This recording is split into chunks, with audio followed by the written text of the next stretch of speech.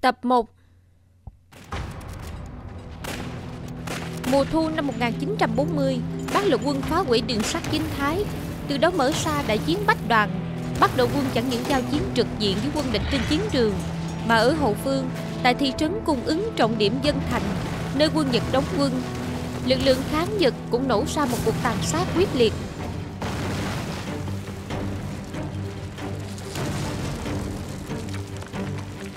Đại đội trưởng, quân Nhật lại bắt đầu bắn pháo rồi. Tôi thấy bác Lộ sắp chống đỡ không nổi. Sao còn không ra lệnh? cám miệng, tôi không có đuôi, tôi nhìn thấy.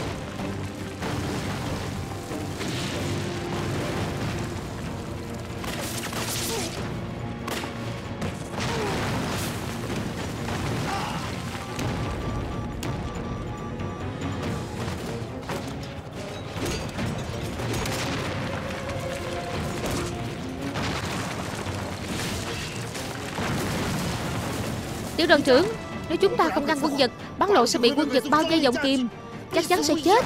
Cậu cắm miệng cho tôi.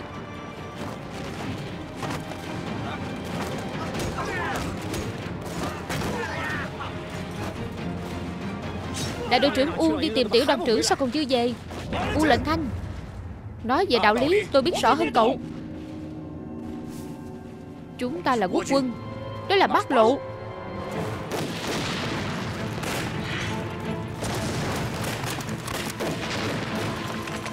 Thật khốn nạn. Cứ thế trơ mắt nhìn bọn Nhật như vậy à? Chờ đó, Đi đâu vậy? Chẳng lẽ các cậu còn chưa hiểu sao? Tôi không hiểu đấy. Bắt lộ quân thì ra sao? Họ đang kháng Nhật. Họ cũng đang đánh quân Nhật. Họ cũng là người Trung Quốc. Họ cũng là người Trung Quốc. Họ là người Trung Quốc. Đại đội trưởng Uông. Đại đội trưởng Uông lệnh thanh. Còn có ba vị Đại đội trưởng khác các cậu đều đã nhập ngũ nhiều năm.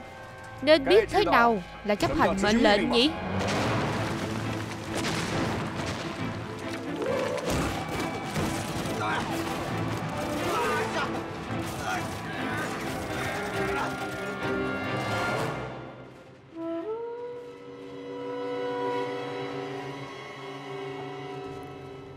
Thưa đại tá Qua khỏi Bình Cương Chúng ta có thể tiến hành kế hoạch bao giây rồi chỉ là Hiện giờ đội quân này vẫn đang cố thủ ở Bình Cương Chặn kín con đường bao dây.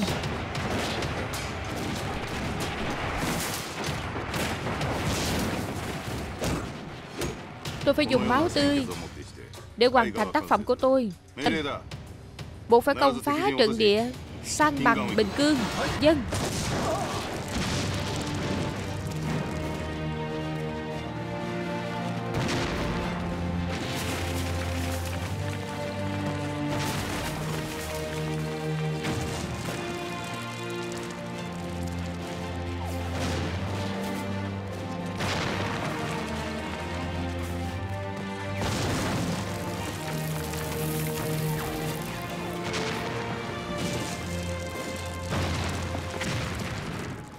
chấp hành mệnh lệnh.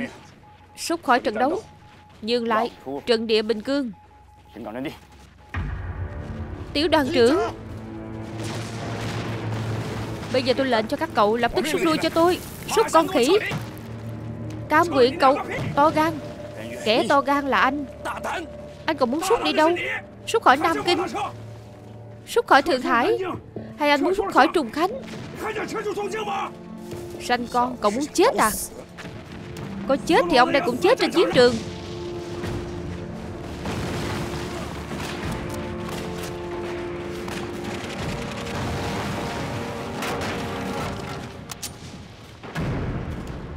Tôi nói lại lần cuối. Lập tức xuất khỏi trận địa Bình Cương. Tiểu đoàn trưởng không thể rút nữa.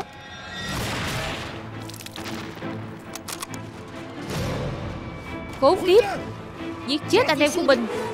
Vậy anh giết hết chúng tôi đi.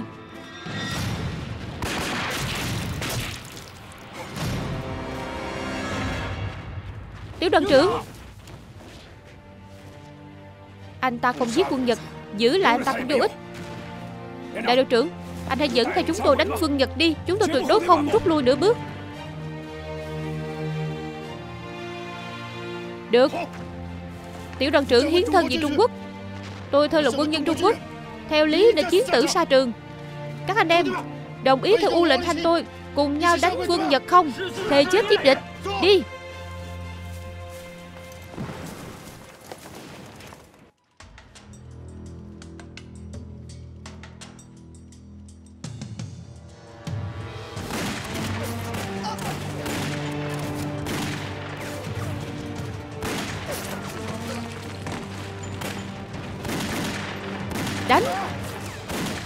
Thưa đại tá, Đội quân Trung Quốc quan cố này thể chết không lui.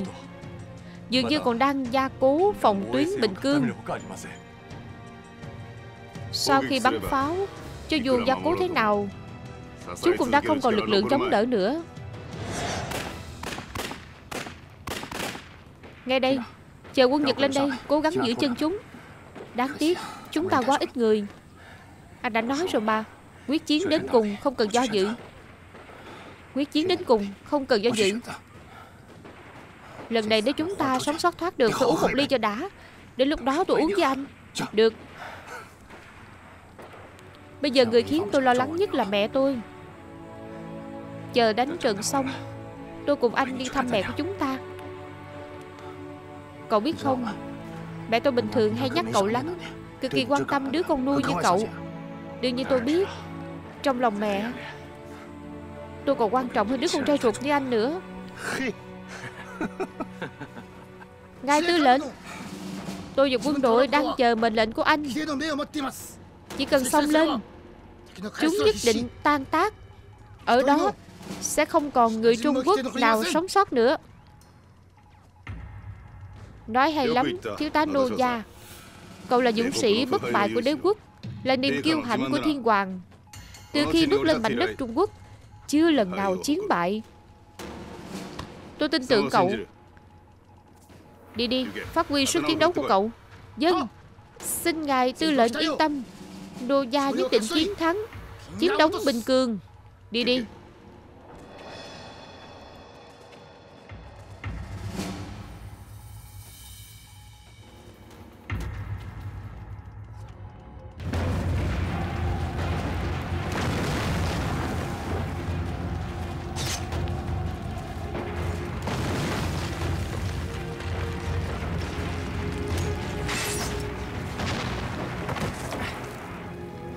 Đại đội trưởng, Quân Nhật đến rồi.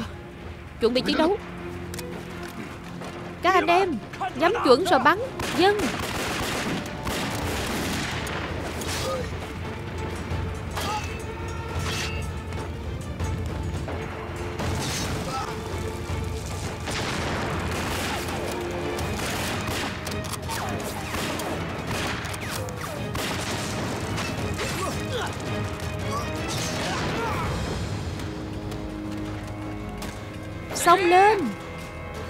đi lấy trận trực diện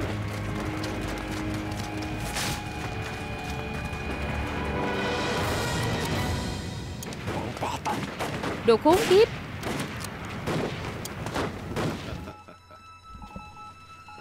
Thiếu tá Nô Gia tấn công mạnh mẽ.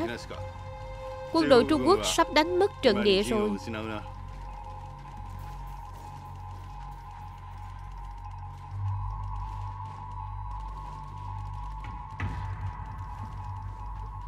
Yểm trợ tôi. Đi đâu vậy? Bảo vệ đại đội trưởng. Dân.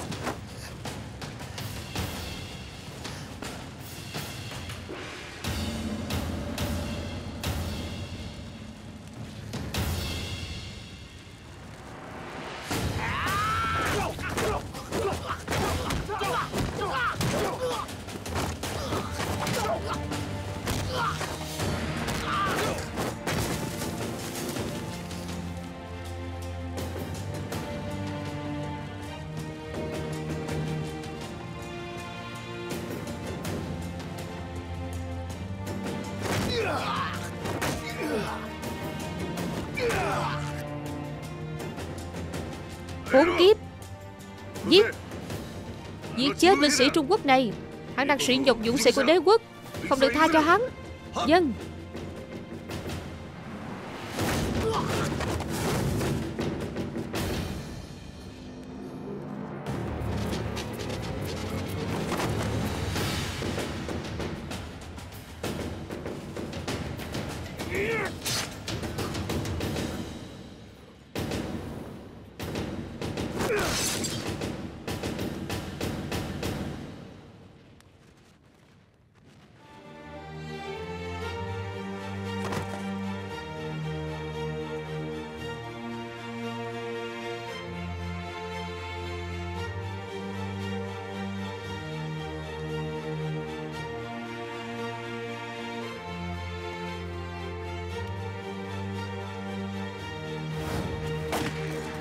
Giỏi lắm người anh em.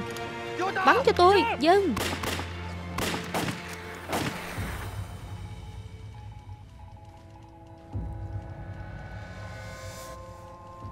Đại tá, Tôi biết trong lòng anh đau buồn. Thiếu tá Nô Gia không nên Không. Cậu ấy hy sinh vì thánh chiến. Tôi không đau buồn. Đều tại tên binh sĩ Trung Quốc đáng chết đó. Bắn cho tôi.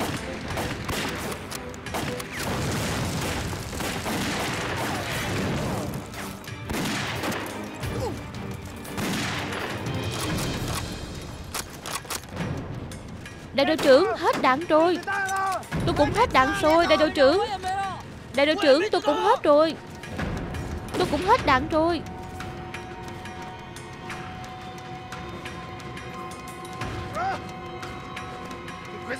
Liều với bọn Nhật Giết. Xông lên. Xông lên.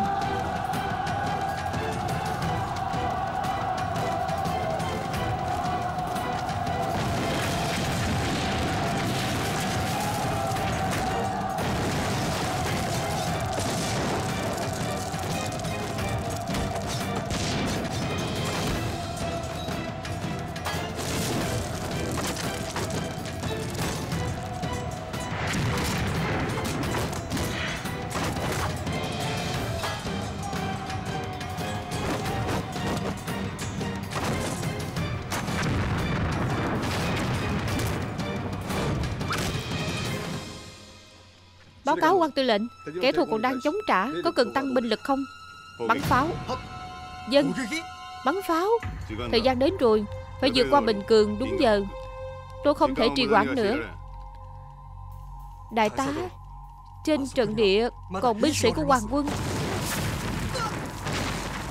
Họ hy sinh vì thánh chiến Là tượng trưng cho thiên hoàng. Tôi sẽ liệt tên của họ vào danh sách Binh sĩ tử trận Dân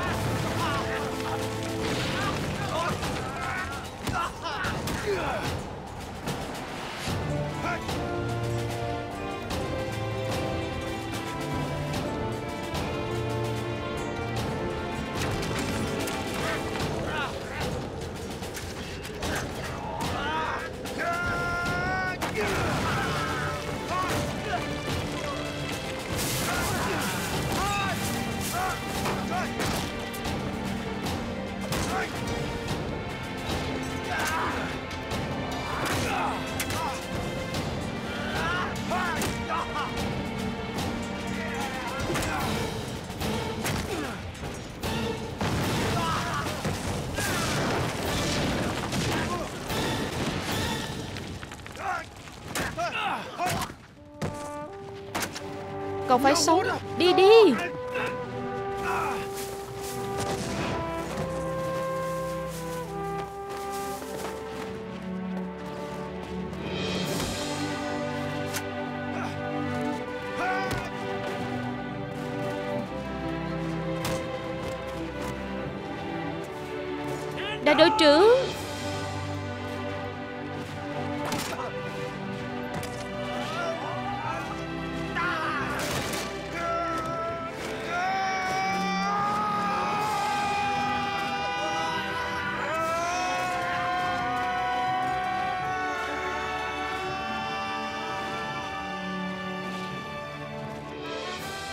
Đại đội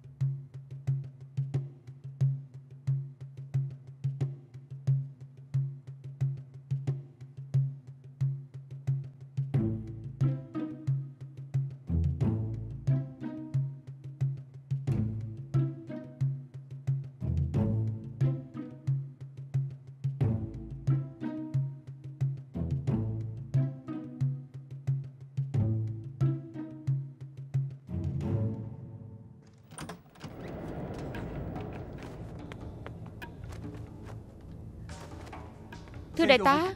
Chiến báo đến rồi. Trực tiếp báo cáo với tướng quân. Tê ra ư chi Quân ta bao vây theo kế hoạch. Bắt lục quân đóng quân ở khu vực núi dân vụ Khiến cho Khiến cho Khiến cho quân địch bị đã kích nặng nề. Tuy quân ta chưa thể tiêu diệt toàn bộ quân đội của kẻ thù. Cậu biết không? Nhiều năm trước Tôi từng mặc đồ giải, Mang theo bút và giấy vẽ đến Trung Quốc khi đó tôi nghĩ tôi có thể vẽ điều gì Để mang về Nhật Bản? Vậy ngài có vẽ không? Ở đây cằn cõi Lạc hậu. Khiến tôi quá thất vọng. Sau khi quay về Tôi chỉ ghi bốn chữ. Chinh phục Trung Quốc. Khi tôi khoác lên chiến phục lần nữa Bước lên mảnh đất này Không ai ngăn được bánh xe sắt của đế quốc Đại Nhật Bản Chính là kết quả tôi tưởng tượng. Khi đi chiến hạm băng qua đại dương, Kết quả này chính là điều mà đế quốc Nhật Bản cần hay sao? Đúng, Chúng ta cần. Nhưng trên bàn tiệc thắng lợi, Tôi phát hiện con sâu bất tử, Chúng đang nuốt chửng trái ngọt Của đế quốc Đại Nhật Bản chúng ta. Con sâu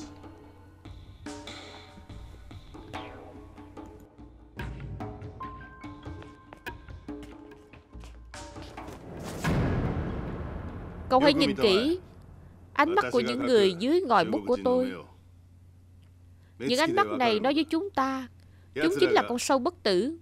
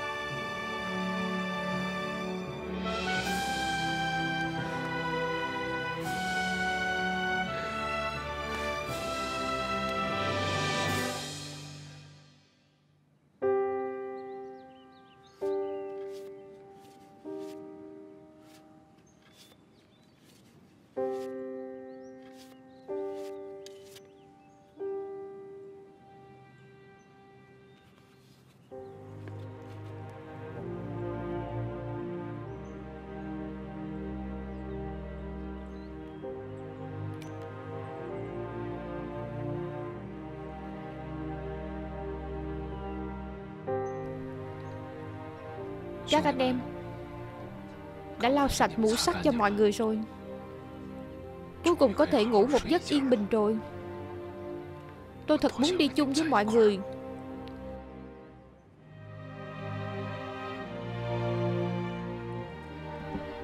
Sao mọi người lại bỏ tôi lại chứ?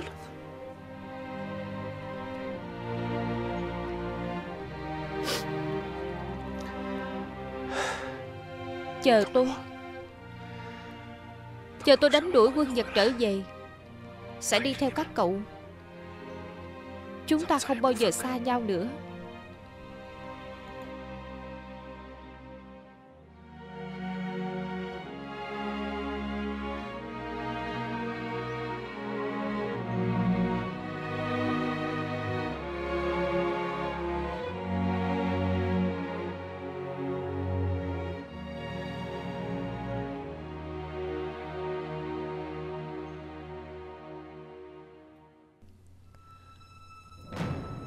Đây là nơi nào?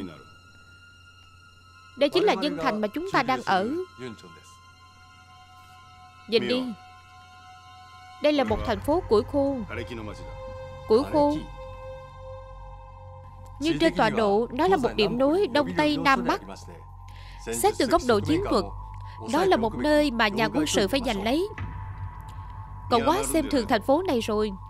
Tuy chúng ta giành được mảnh đất then chốt này nhưng nó yên ổn không? Yên bình không? Nếu nó bị thắp cháy, Sẽ bùng cháy ra ngoài. Lan tỏa khắp nơi. Cậu cứu nổi không? Đến lúc đó, Chúng ta chỉ đành ở lại đây, Không thể ra ngoài nửa bước. Chứ đừng nói đến liên lạc Đông Tây Nam Bắc. Vậy, Điều tôi muốn nói Chính là để những mồi lửa này Mãi mãi không thể cháy lên được. Báo cáo. Vào đi. Quân đội mai phục đã tập hợp xong. 15 phút sau xuất phát. Rõ.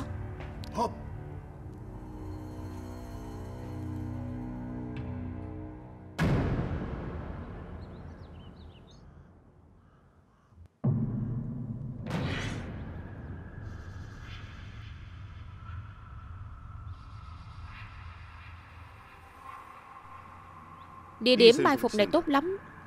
Nếu phát hiện bắt lộ Lập tức lặng lẽ tiến hành bao vây. Dân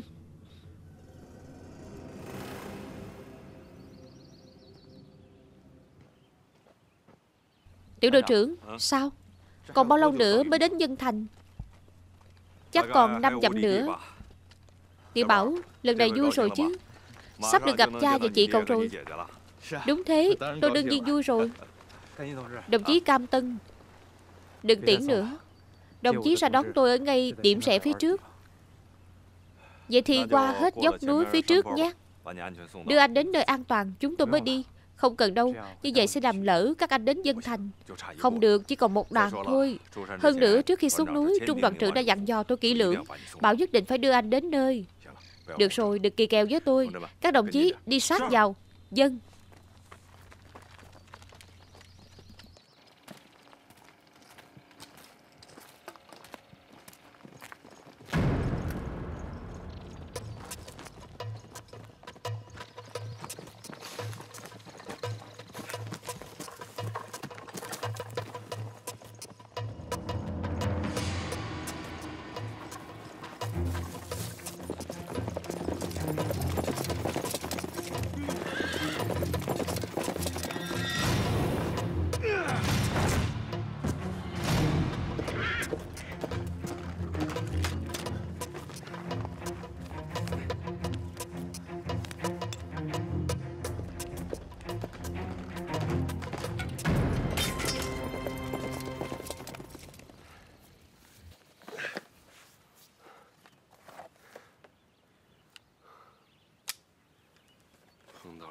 Gặp được ông coi như cậu đang đuổi.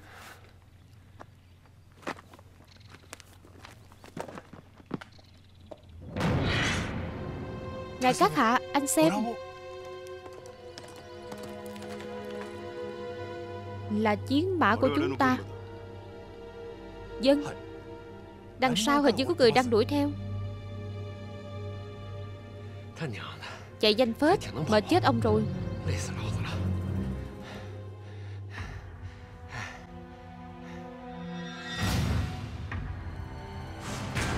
Khốn kiếp. Chính là hắn. Tuy tôi không nhìn rõ khuôn mặt của hắn Nhưng nhất cử nhất động của hắn Tôi không bao giờ quên. Chính hắn giết thiếu tá Nô Gia ở Bình Cương. Chẳng lẽ hắn chưa chết?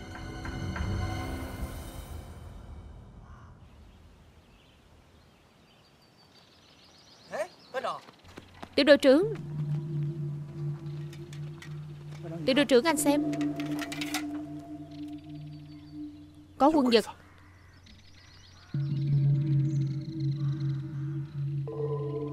Đi.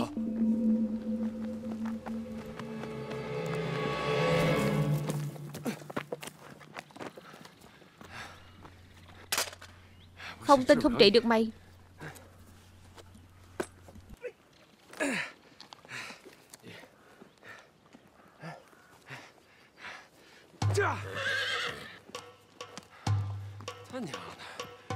Mày bảo mày chạy không chạy? Không cho mày chạy thì chuồn nhanh nhỉ?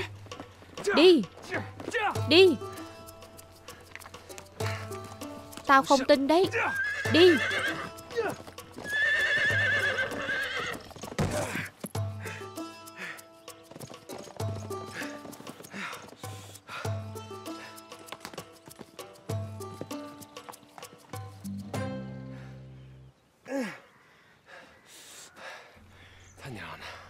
Súc sinh Đông Dương. Muốn ông ngã chết sao? Đứng lại cho tao. Đến rồi. Chúng đến rồi.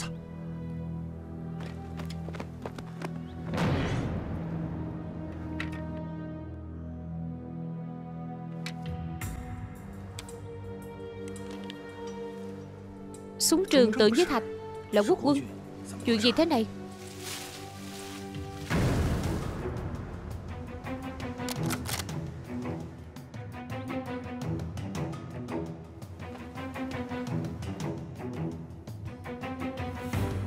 Lập tức bao dây Dân Bao dây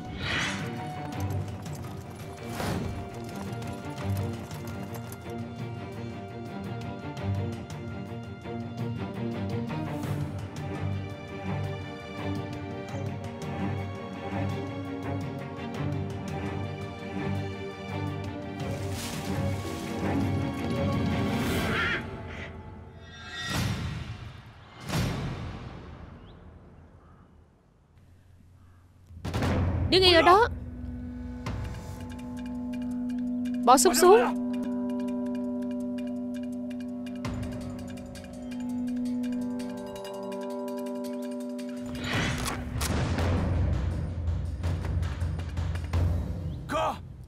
Anh. Cam nguyện Anh à Cam nguyện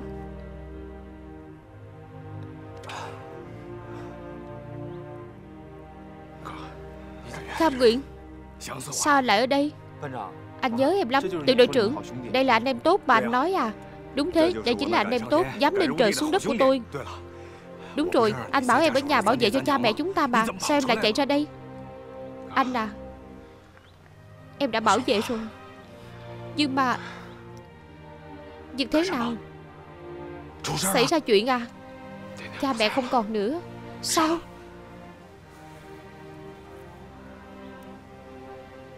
Quân Nhật phóng hỏa đốt thôn chúng ta. Trong lúc tức giận, Em đã giết một quân Nhật Cha mẹ vì muốn bảo vệ em Đã bị quân Nhật giết rồi. Sau đó em trốn ra được. Anh Anh bắn em đi. Tại em không bảo vệ tốt cho cha mẹ.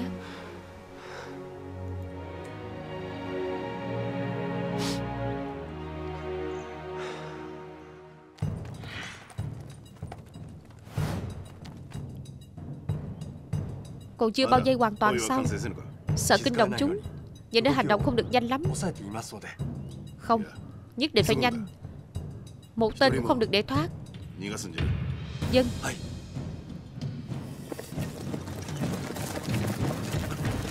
Cam nguyện Sao em ăn mặc như vậy? Em bị thương à? Sau khi chạy khỏi thôn Vì muốn đánh Nhật Em đã gia nhập quốc quân. Quốc quân anh Các anh tính đi đâu vậy? Bây giờ bọn anh là đoàn độc lập Ở núi dân vụ của Bắc Lộ quân. Bọn anh phải đi chấp hành nhiệm vụ.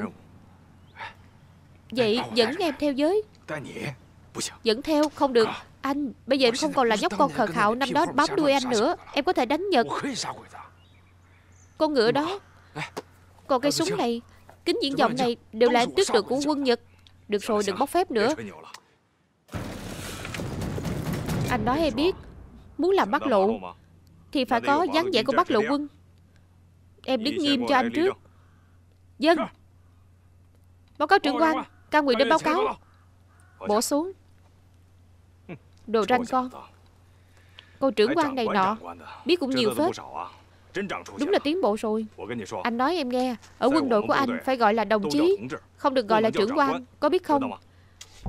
Em mặc kệ trưởng quan hay đồng chí. Chỉ cần cho em theo anh đánh Nhật Gọi gì cũng được.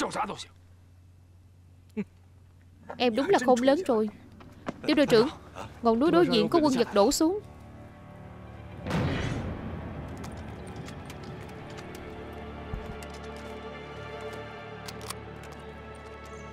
Anh Xem ra chúng ta bị quân Nhật bao vây rồi. Mọi người đừng quản Yểm trợ tham mưu liễu từ từ rút Dân Đi thôi Bên này. Thưa đại tá, Sắp hình thành bao dây vòng cuối rồi. Không, Chúng đã phát hiện chúng ta rồi. Đang từ từ rút lui. Không thể chờ nữa. Mệnh lệnh, Lập tức tấn công. Dân, Tấn công.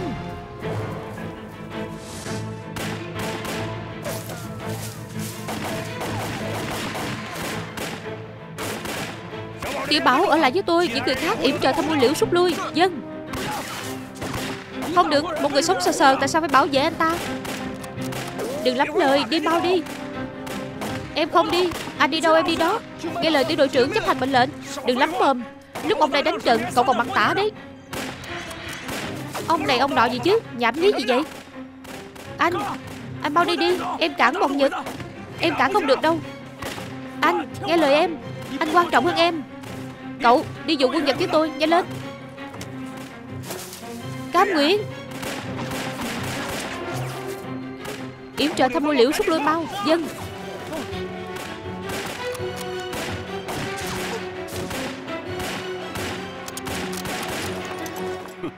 Bác lộ quân gian xảo thật Muốn dụ chúng ta đi. Sao lại cho quân đội tấn công? Chia thành hai đường. Dân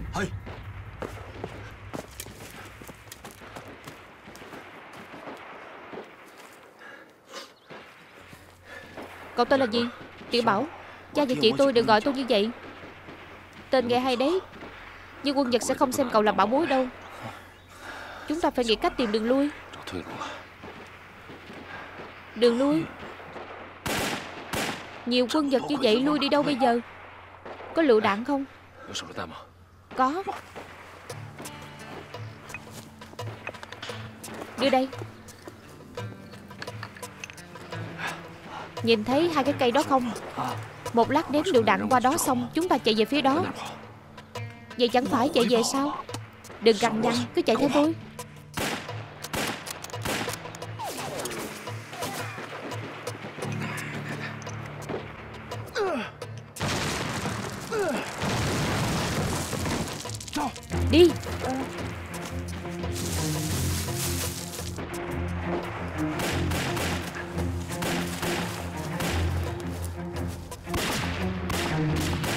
Ý kiến hay đó anh.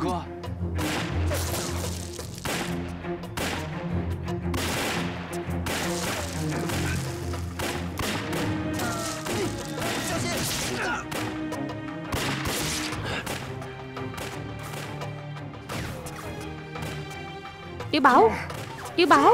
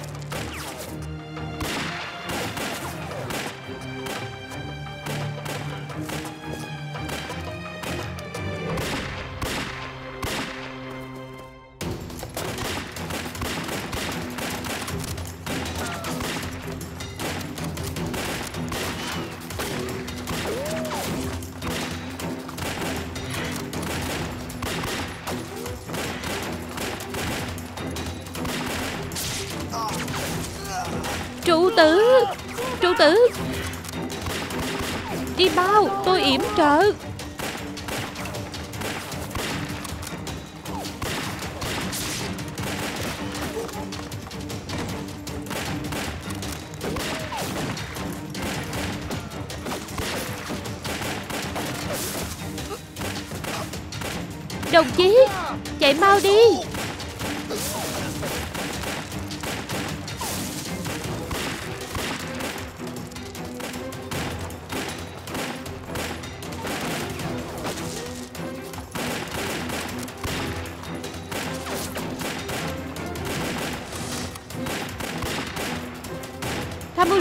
Chạy hướng này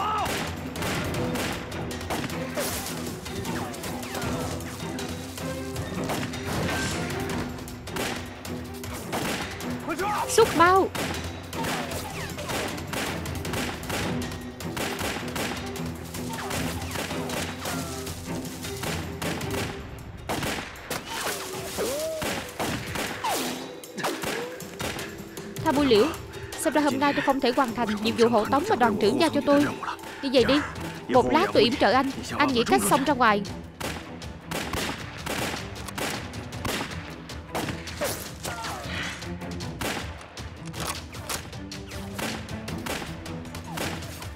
Bác lộ ở phía trước. Các người nghe kỹ đây. Tiểu đội trưởng Cam, Chúng ta xông ra ngoài liều với chúng đi. Không, tôi phải giúp anh sống sót. Nhưng mà không nhưng gì gì cả. Một lát tôi yểm trợ cho anh. Anh nhất định phải sống sót trở ra. Tiểu đội trưởng Cam Anh có sao không? Không sao.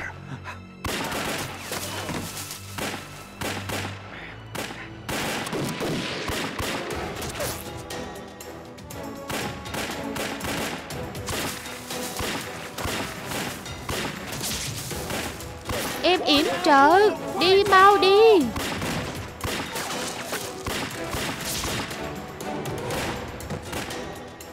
Là anh em của tôi Chúng ta mau đi thôi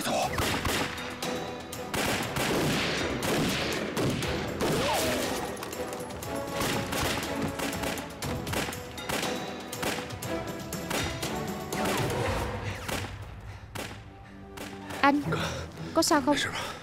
Không sao Không sao. Đi thôi Không được. Nếu như vậy chúng ta không ai thoát được. Em nghe đây Em đưa tham mưu liễu qua khu rừng bên đó. Bên đó có người tiếp ứng